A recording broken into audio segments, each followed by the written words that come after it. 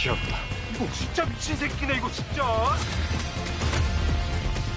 Selesai dengan Happiness, Tivin akan menggantikannya dengan drama Korea Lee Dong Wook yang berjudul Bad and Crazy. Kali ini, Lee Dong Wook dihadapkan dengan lawan mainnya yaitu Wi Ha Jon. Drama Korea ini menceritakan tentang Lee Dong Wook yang berperan sebagai Ryu Suyo. Ia digambarkan sebagai seorang yang buruk, bad. Sedangkan Wi Ha Jon dengan perannya sebagai K digambarkan sebagai seseorang yang gila, crazy. Sesuai dengan judul drama Korea terbaru mereka yakni Bad and Crazy. Ryu Suyol merupakan seseorang detektif kepolisian yang sangat terkenal. Ia akan melakukan berbagai cara untuk pekerjaannya tersebut, termasuk cara-cara yang kotor. Sedangkan K mengaku bahwa dirinya adalah seorang superhero.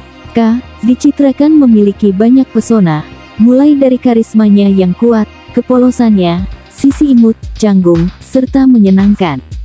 Pertemuan Suyol dan K bermula ketika K yang saat itu muncul menggunakan helm di hadapan Suyol, yang kemudian memukulinya tanpa Suyol tahu apa penyebabnya.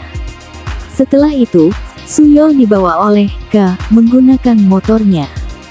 Suyol dan K yang mulanya sering sekali melakukan baku hantam satu sama lain, kemudian bekerja sama untuk menyelesaikan sebuah kasus pembunuhan. Drama Korea Bad and Crazy akan mulai tayang pada tanggal 17 Desember tahun 2021, pada slot yang sama dengan drama Happiness, Jumat dan Sabtu pukul 22.40 KST.